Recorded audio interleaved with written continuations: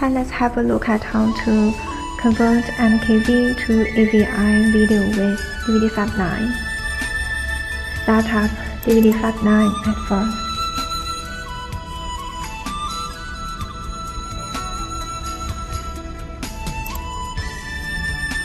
Choose Converter option. Loading the source video. Okay, now Open the profile box. Go to Format, to AVI, then select a profile. Now click Advanced Settings button. You can set video parameters like encoding method, resolution, frame rate, video quality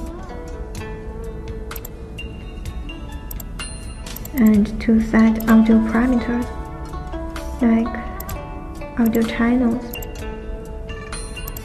bitrate, and volume.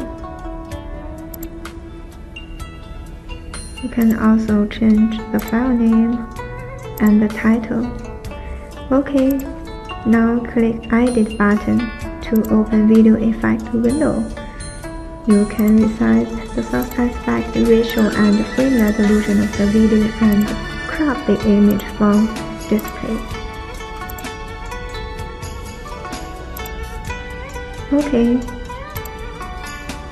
Now make sure the output target is alright.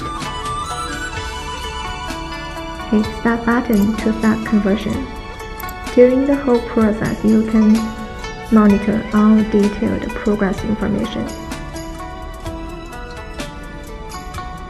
And you can preview the progress with real-time images of the video.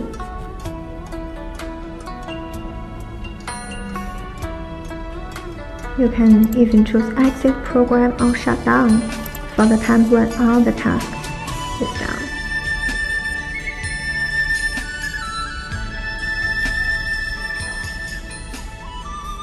Okay, see you next time.